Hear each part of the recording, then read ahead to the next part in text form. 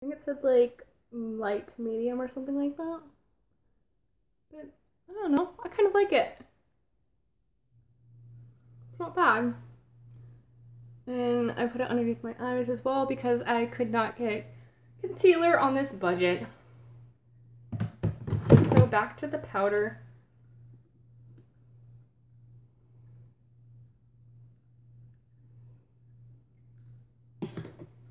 Once more.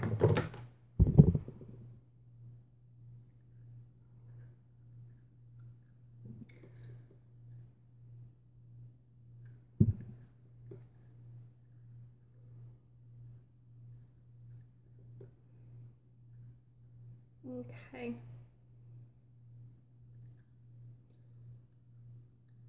It's, I do not recommend applying powder with this type of applicator.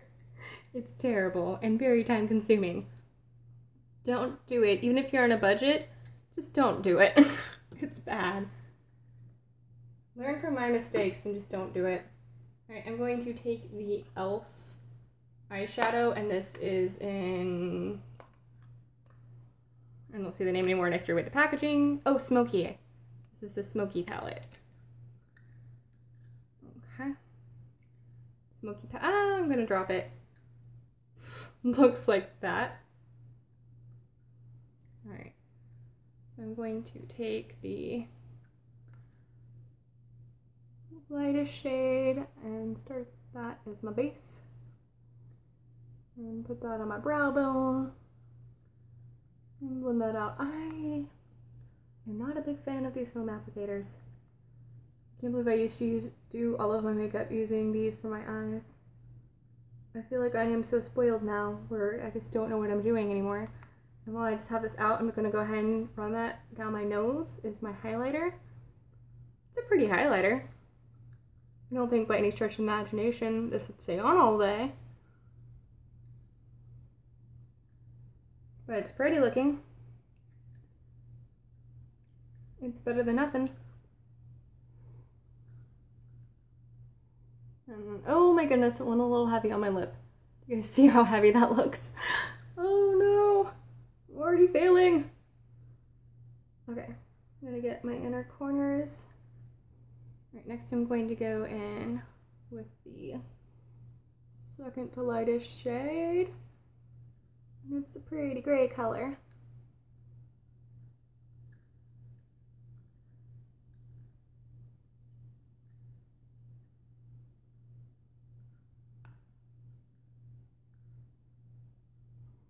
It's not bad. I'm going to take the color that says crease.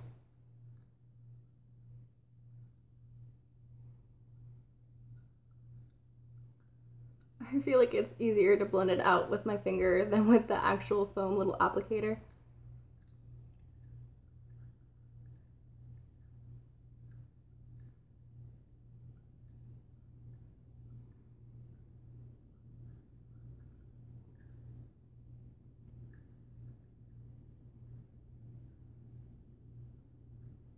Grief. It's so hard to control it this way. And I feel like, well, the foam applicator is supposed to make things look more pigmented because they're picking it up more compactly, I believe. But it just, it's not a good look. I look like I got punched in the face.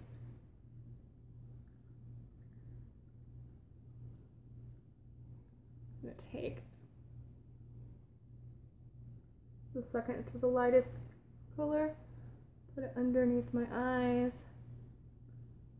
I feel like I look like I got punched in the face right now.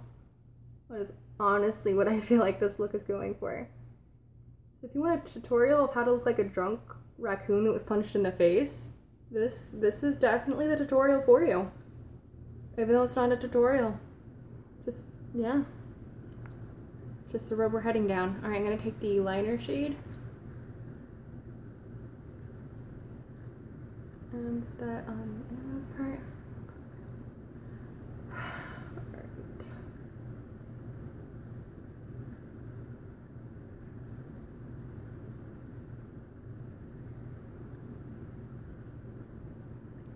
Bad Raccoon.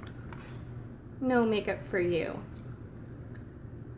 Yeah, and by the way, nothing I bought came with a mirror, so that is why I'm using a separate, smaller mirror. I'm gonna go in with that white shade and see if we can't blend everything out with that. That, that made it look a little bit better. Like, that's not bad. It's not great, but it's not bad. It definitely could have been a lot worse. Okay. And I think I'm done with that. Oh, goodness. That's not what I meant to grab. That's not what I meant to grab at all. So I went to the clearance section for the lip and cheek item, and it's a Rimmel lipstick, and the shade like name and stuff has ripped off of it, but it's from Rimmel, and it's a pretty, like I think watermelon looking red. It kind of smells like sugar. And I am totally okay with it smelling like sugar. because I feel like sugar is one of the best, most satisfying makeup smells ever. Ooh, ooh, that blends really well though. Like, ridiculously well. It looks more pinky on the lips than red. Alright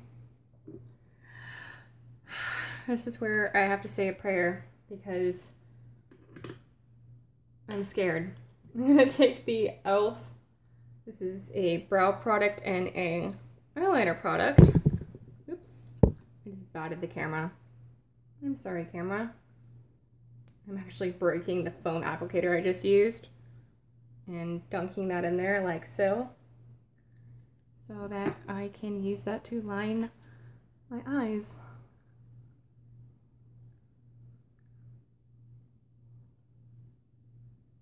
I have a feeling this is a really dumb idea.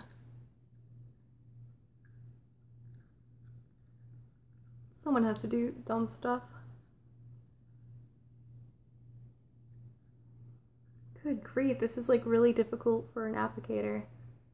Feel like the foam portion would have been like just as bad.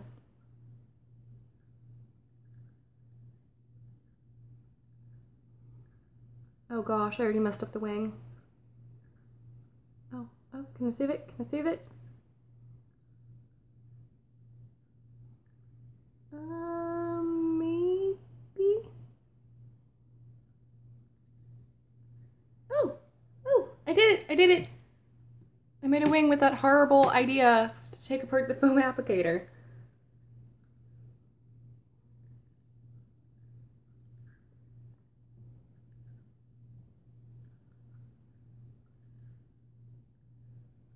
Oh Gosh.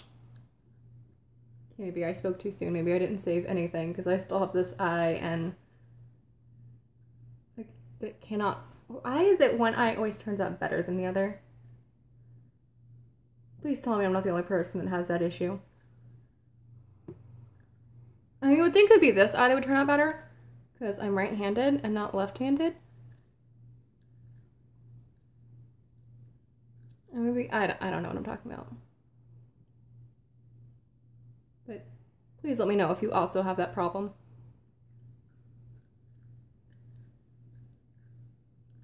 Also, I'm kind of stoked that Friday Guardians of the Galaxy Volume 2 comes out. I think I'm gonna surprise my husband by taking him to see it. Because he has worked a lot of. Ah, and this wing is just out of control. I really don't even know anymore. Maybe just keep getting bigger and bigger. It's just not a good way to apply eyeliner. This was a dumb idea. Alright, I'm going to go back into that eyeshadow and take the black liner color and pat that on top of it.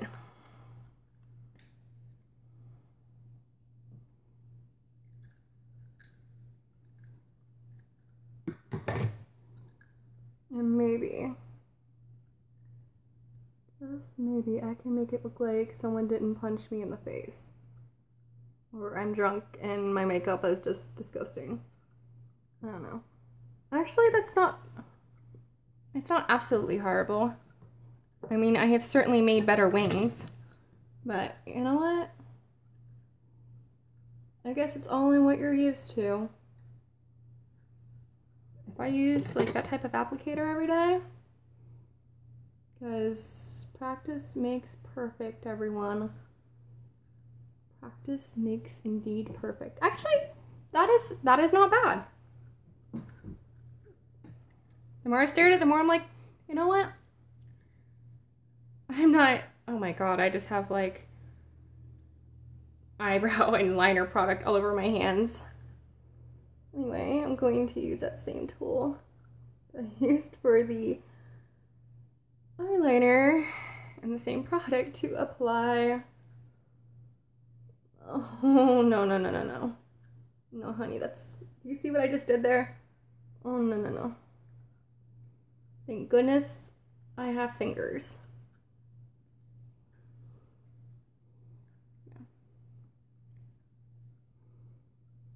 I definitely need to wash my hands and scrub them really well.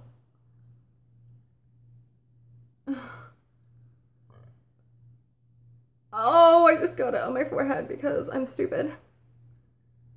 This is a disaster. Like, I am actually breaking this thing. Because it definitely was not meant to be used like this. And it's kind of flimsy to begin with because it's e.l.f. And I've never really had the... Oh my gosh, it's like completely gone.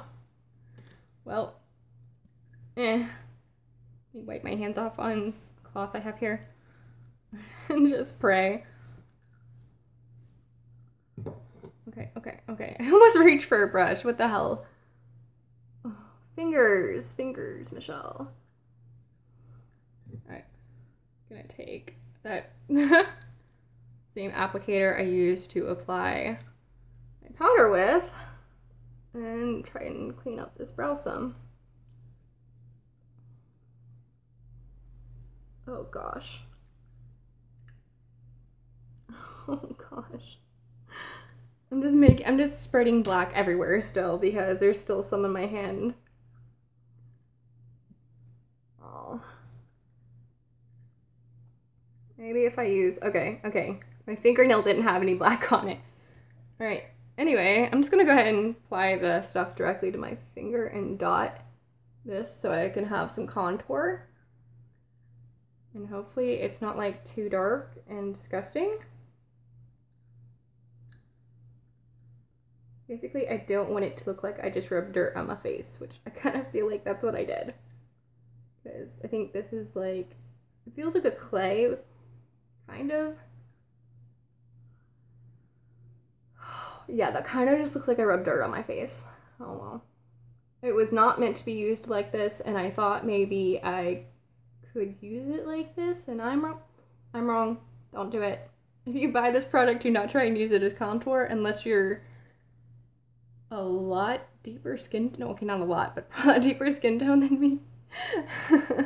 or you're just really desperate like I was. I was like, I still need contour in my life, and oh gosh, I didn't want contour like this. Alright. I need to grab my mascara that I bought for this challenge. I'm going to curl my lashes with my terribly awful dirty fingers.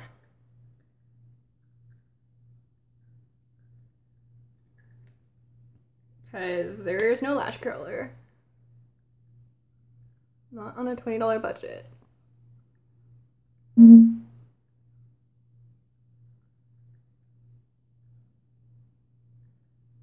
And there we go.